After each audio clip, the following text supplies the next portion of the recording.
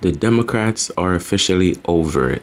And when I'm saying over it, I mean they're over the black man. Why is it? Because it's very hard to control the black man's vote. If you notice in recent times, you see in the Democratic Party rolling out millions of black women, leading them out to be the face of the Democratic Party. Why is that? It's because the black man's vote is not consistent to the Democratic Party. Here's an example. Just check out how black women discuss Kamala Harris' presidency. Because as the saying goes, if you've got something to say,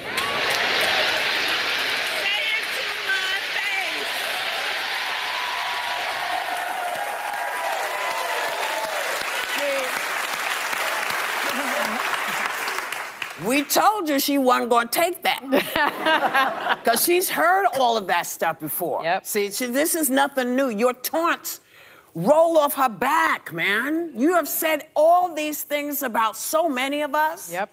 So many women have heard, oh, yeah, you only here because you a woman.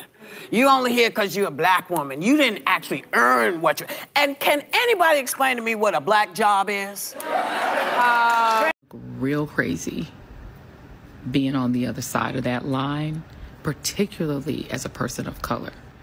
You're going to look real weird and real lonely on that side. You really are going to look crazy being on that side, given the cultural phenomenon of Vice President Kamala Devi Harris. Now check out how black men discuss Kamala Harris' presidency. New candidate, Kamala Harris. Okay. Is is Kamala going to make you uh, a little more likely or less likely to vote Democrat? Hold on, hold on, wait, first, Ray, hold on, Ray. Is, is Kamala black? Yes or no? I'm gonna let her speak on that. but to me, no. Oh, I've is Kamala black? Yes or no? I share that same view. Wow, is Kamala black? Yes or no? I heard she was. I heard she's half black and half Asian. It, it feel like she black when she wanna be. I, that's, I'm gonna be honest. I'm just gonna be honest, huh? I feel that same. Huh? Wow. Yeah, she uses the black card when she have to. Wow, it's huge. I'm just saying, I've heard this is huge. Okay, man. so that's interesting. My follow-up question is, does it matter?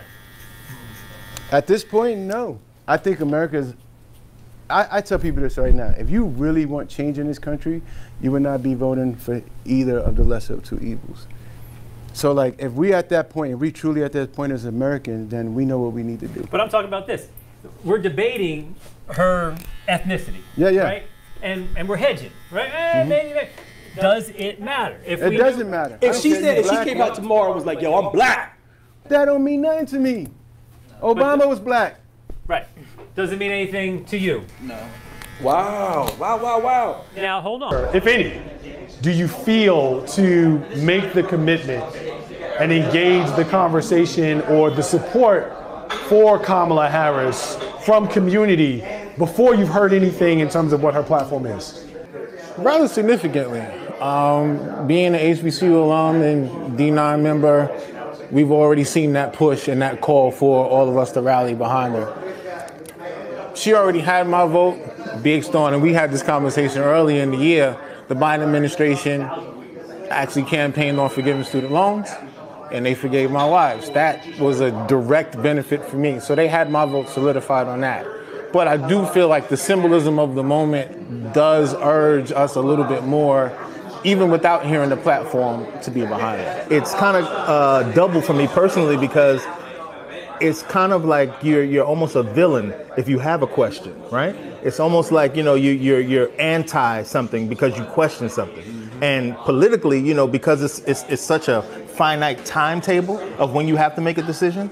It, it, it, it doesn't leave room to have a, a real in-depth conversation. You're almost put in a place where you have to just say, come on, let's go. And it's like, come on, let's go with what, right? And then when you're halfway down the road and you feel like, like, wait a minute, I shouldn't be part of this bandwagon. Are you anti because you want to back off now, or you, you know, do let me out the car? You know what I'm saying? How you look at now? You know what I mean? So it's it's rough. That's a Boys and Hoods reference for people who didn't catch it.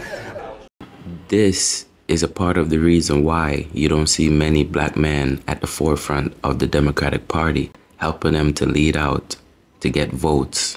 And to encourage other people to even continue voting Democrat. Why is that? Because the black man vote is not consistent for Democrats. People are talking about Project 2025. How about we talk about Project 2024 that the Democrats were able to accomplish successfully? And that is to open the borders so illegal migrants could come over and replace the black vote. Why do you think they're rushing to get them legal status in America? Now they might they might not vote for the 2024 election, but they're damn sure will vote for the 2028 election. This is strategic for the Democrats. Everything they do is based on strategy and is not in the well-being of the people who vote for them. Let me know what you guys think.